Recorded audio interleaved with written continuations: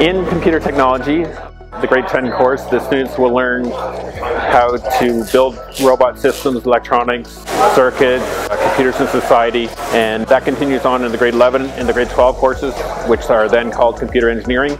And they uh, do more advanced things. And today, the, the VEX robots are what the grade 11s are working on. We learned coding. I only learned coding two years ago. It was my first time in grade 10 and I learned Java for the, for the first time and it was a completely unknown world to me. But I started using it so much, I started coding so much that I started thinking in code. I started thinking, okay, if I do this, then this will happen. I take tech because I'm going into a uh, STEM related degree and I'm personally like very intrigued by science, like technology. I take tech because there's a lot to learn. I mean, I go in there, I like problem solving, I love playing with robots. We learn how to code the robots, how to build them, and make sure that they're built properly. We learn problem solving, because when you build the robot, at first it probably won't work.